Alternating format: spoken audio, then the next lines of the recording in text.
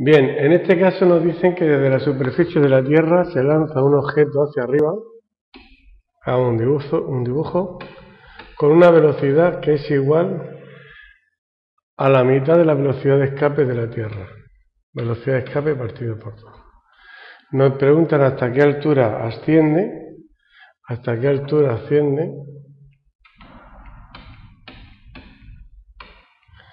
y nos dan como único dato el, valor del radio de la Tierra. Bien, tenemos que recordar que la velocidad de escape de un planeta es la raíz cuadrada de dos veces la gravedad en su superficie multiplicado por el radio del mismo. Entonces, si nosotros lanzamos un, desde la superficie un cuerpo con una velocidad, hacemos el balance energético y tendremos energía potencial en la superficie donde m es la masa del planeta, en este caso la Tierra, m es la masa del cuerpo que es lanzado y r el radio del planeta. Energía potencial más energía cinética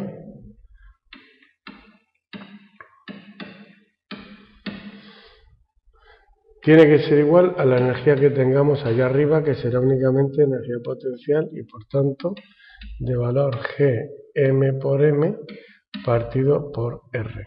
Siendo R el valor, siendo R pequeña, el valor de R más H. Vale, pues aquí el único problema que nos queda ahora es despejar el valor de R pequeña y luego una vez que tengamos la R pequeña despejamos, le restamos R y ya tenemos la H calculada. Bien, pues aquí tendríamos menos G m por m. Bueno, la m pequeña la podemos quitar ya porque no influye. La podemos quitar aquí una, otra y otra. Y se queda menos gm partido por r más velocidad de escape al cuadrado partido por 2 por 2, 4 y 2, 8 igual a menos gm partido por r. Si quitamos denominadores, tenemos eh, tendríamos aquí 8R pequeña multiplicado por Gm con el signo negativo con el signo negativo más R pequeña R grande por la velocidad de escape al cuadrado igual a menos 8R grande por GI por M. Bien, como no me dan la masa de la Tierra, tengo que resolverlo de la siguiente forma. Cada vez que me dan g por m, lo podemos poner como g por r al cuadrado, que es la expresión de donde se calcula la gravedad en la superficie del planeta. Si despejamos de aquí la r pequeña, tendríamos r grande por la velocidad de escape al cuadrado menos 8 gm igual a menos 8R por G y por M. Y ahora lo que tenemos que hacer es empezar ya a sustituir valores. Si la velocidad de escape la elevamos al cuadrado, se nos queda 2GR, que por R será 2GR al cuadrado. G por M hemos dicho que valía GR al cuadrado. Igual a menos 8 g por r era g por m era gr al cuadrado y por r gr al cubo.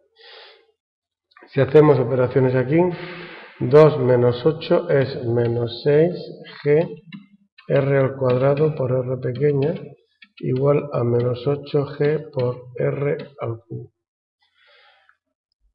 g y g se va, menos y menos se va. Luego la R pequeña es igual a una R grande porque se van dos de la izquierda con dos de la derecha. Vamos a poner aquí.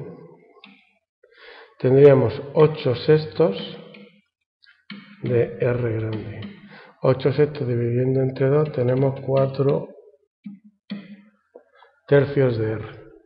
Pues bien, como la R, R pequeña es igual a la R grande más H, Si esto es igual a 4 tercios de R, tendremos que H es igual a 4 tercios menos 3 tercios, que es lo que vale R, y entonces nos dará un valor de H, eh, perdón, eh, H será igual a R partido por 3.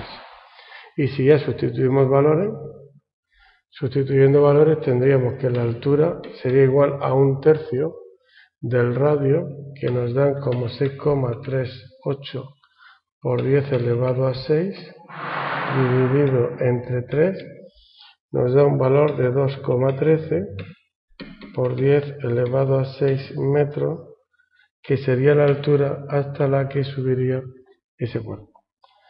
Cuestión terminada.